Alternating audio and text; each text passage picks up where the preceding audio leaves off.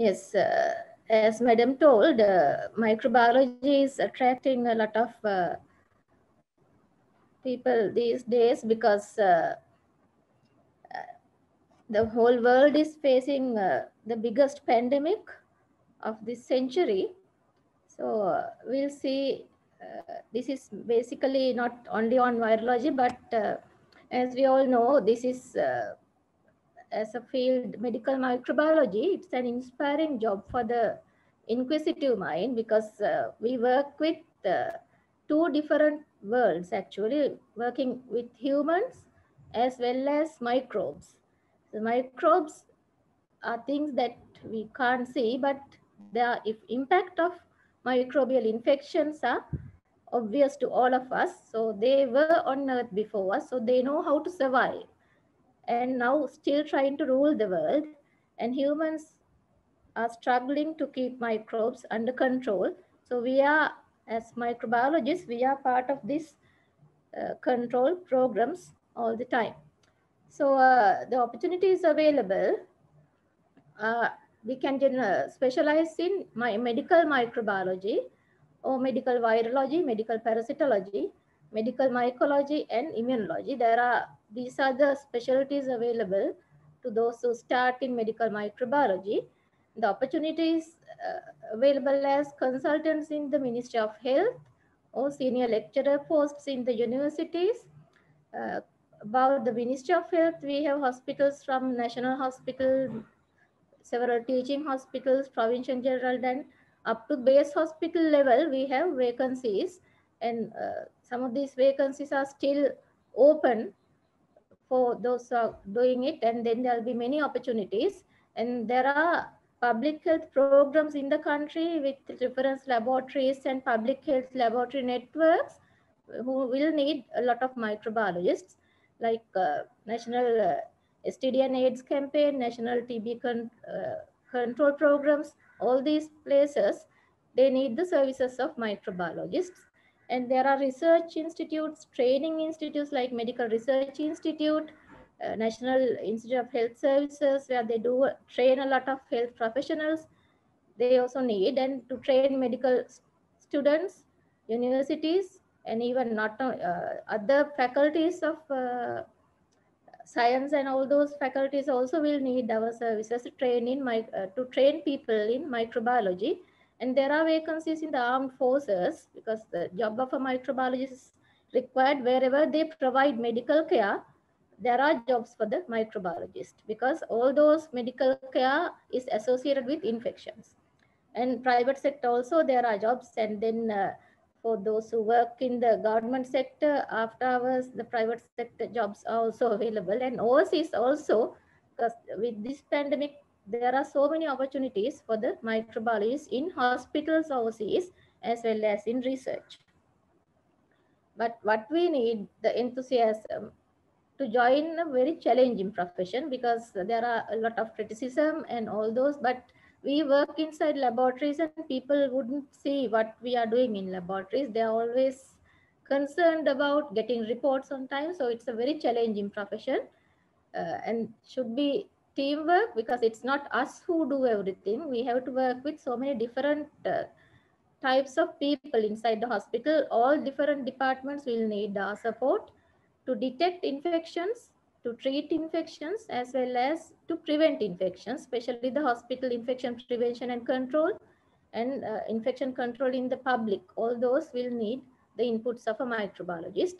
And we have to be involved in research, evaluation of test kits, vaccines, and all those, plus teaching and training of uh, various categories of people. So we need critical thinking to foresee problems, to analyze problems, evaluate problems, and there are so many new developments coming, especially with the COVID pandemic. There are different types of test kits, different devices, so many different uh, concepts are coming into practice. So we need to evaluate and see whether they are suitable for the uh, requirements. And then uh, we have to be taking firm decisions and all the time we should be there to resolve crisis situations. So we have to be ready to be a team player as well as a team leader and we need a lot of patience and commitment because uh, our goals may be very short-term goals, but we have long-term goals as well because uh, preventive health also will need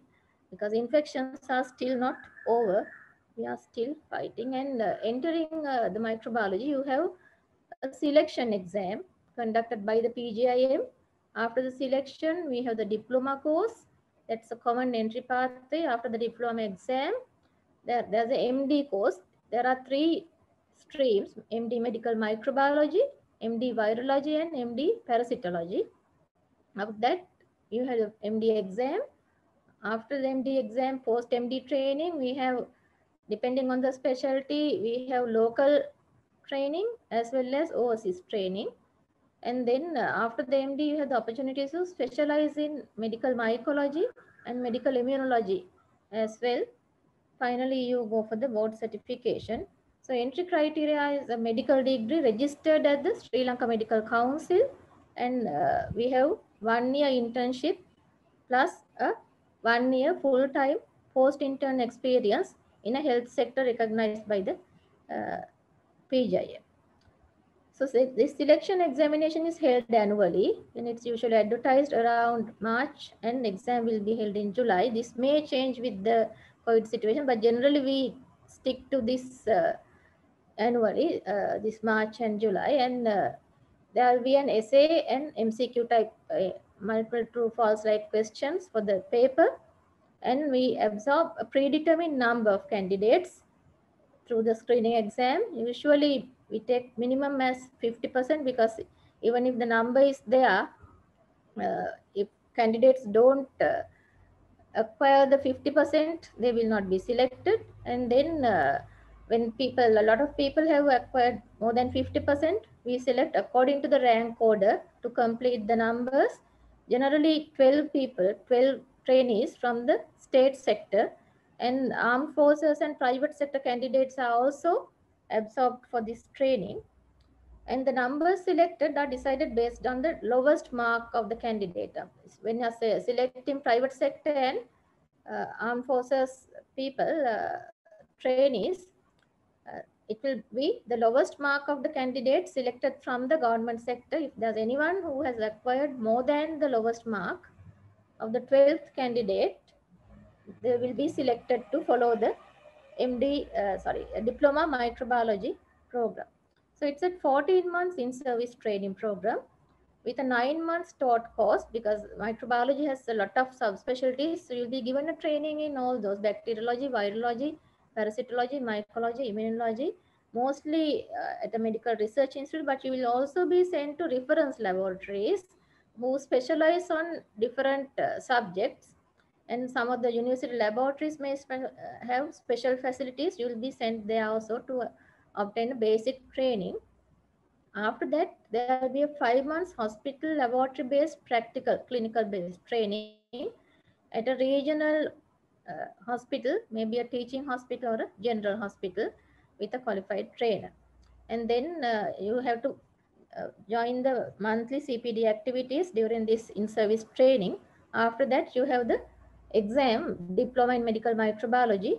If you complete 80% uh, of attendance in all the required components, all these are available in the prospectus in medical microbiology. This is available on the PGIM website. And uh, we have to have satisfactory progress reports from your trainers during the in-service training and you have to complete a portfolio as evidence of learning. Uh, this has to be submitted before the exam and then after the exam, this diplomate enters the MD program. As I said earlier, it could be microbiology, virology or parasitology depending on the vacancies available. But most of our trainees, most of the vacancies are available in medical microbiology who will who will handle everything like microbacteriology, virology, parasitology, immunology, all those things are included in this general program, medical microbiology. And then after the diplomates can join the uh, Sri Lanka College of Microbiologists, they'll be offered the membership. And then this is important for the grade one as well for the medical officers.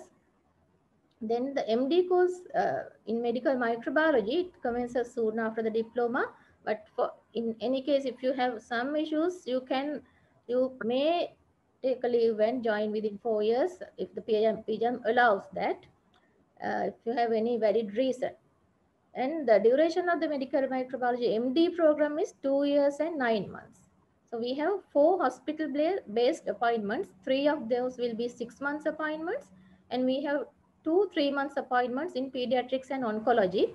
So those are compulsory appointments for everyone because it's very important to follow pediatrics and oncology appointments. And then we have special appointments at uh, reference laboratories at MRI, the National Reference Laboratories for TB, uh, HIV AIDS and all those uh, special appointments will be there. Even epidemiology unit appointments will have to be completed. And we have different workshops on antibiotic use, infection prevention and control, journal clubs and tutorials will be organized for you. And you have to do a research project for four months with the guidance of supervisors on approved topics uh, to be eligible to sit for the MD exam this is usually held in November after completing these two years and nine months of training. But as uh, after the diploma, you may opt to do virology because that is also handled by the same board of study in at the PGIM board of study in microbiology will uh, be conducting training in MD virology, MD parasitology as well.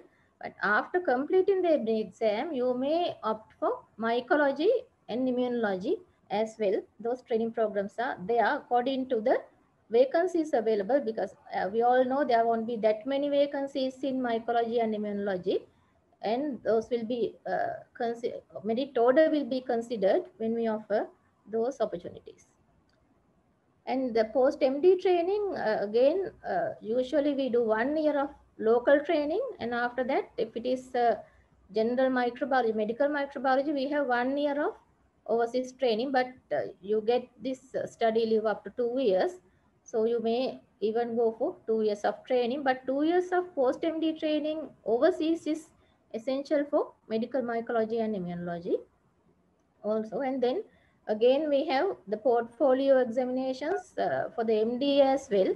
Even after MD, you have to continue your portfolio and there will be a portfolio based pre-board certification assessment before you obtain your board certification as a specialist in medical microbiology, virology, parasitology, mycology, or immunology. Uh, so the difficulty is when we see the vacancies right now are available in provincial level because uh, you can't expect to be in Colombo all the time. But provincial hospitals sometimes maybe uh, distant provinces, district hospitals and base hospital up to A level, we have vacancies, uh, we have places for microbiologists to work. But if you're a virologist, obviously you can't go and work in a base hospital. It will be in a bigger hospital, like a teaching hospital. Uh, and uh, mycology, parasitology also may be in bigger hospitals, not in uh, base hospitals, uh, because you don't have uh, very specialized laboratories at base hospital level. General clinical microbiologists usually can work at base hospital level and the difficulty is that we have to work with all different specialties in a hospital and not only them uh, working with engineers working with uh, different non-medical groups of people are also involved non-medical professionals will have to be convinced on different things so those are the difficulties but uh, on the brighter side, we have clinical as well as laboratory practice because we go to ICUs, we see patients with hospital-acquired infections, we have to find solutions. Uh, we have to look at the small picture as well as the big picture as a hospital, the hospital epidemiology, how infections can be controlled in the hospital and prevention of infections. That is also uh, a job for the microbiologist and laboratory administration is there. Uh, sometimes the administration sort of uh, technical support to networks of laboratories because usually when there are microbiologists, only one microbiologist in the province, they will have to support all the other smaller laboratories and support uh, for the clinicians as well. And there are so many teaching and research opportunities available. And with working with all those different uh, professionals, you win friends. And uh, it's a satisfactory job. I think uh, it's a very good, challenging, and stimulating job for a uh, new doctor. Thank you.